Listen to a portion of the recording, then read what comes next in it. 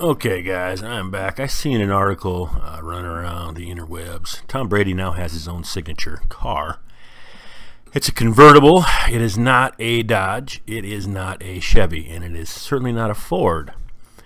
It is an Aston Martin. What else could it be for TB12? Now, these cars are actually called the TB12 with his insignia uh, all over the car. He helped design the car, uh, decorate it, if you will and they're only making 12 of these, ironically, and Tom Brady is not getting one. Uh, the car comes in one color, and they have it like a submarine black or something they call it. Ultramarine black, there you go.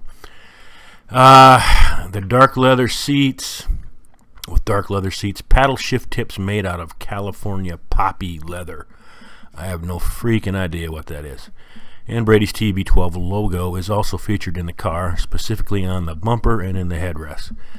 Now, Brady signed with uh, these guys back in May. Uh, he will not get one of these cars. Uh, he will have to pay $360,000 for one if he wants one.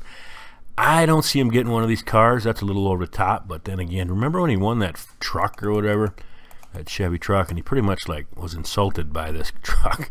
He was going to give it away, but you know I get that. Whatever it is. Uh, it's you know so he's probably got a hundred cars so it's, it's those are nice trucks. It's irrelevant but this is a sweet ass car these uh, Aston Martin Vanquish S Volantes. That's what his car is going to be uh, it technically is upgraded version uh, with the TB12 logo etc some other things. So yeah for a cool 360,000 uh, you can get uh, one of these cars. This is not the convertible but uh, yeah, apparently Tom's are only convertibles, only the best for Tom. And uh, you know, I don't know if this is if this is the first time a professional athlete has ever had his name on a car that I that I can possibly think of, and that includes Michael Jordan, which is pretty surprising actually. Um, but somebody help me on that. Maybe there is somebody else.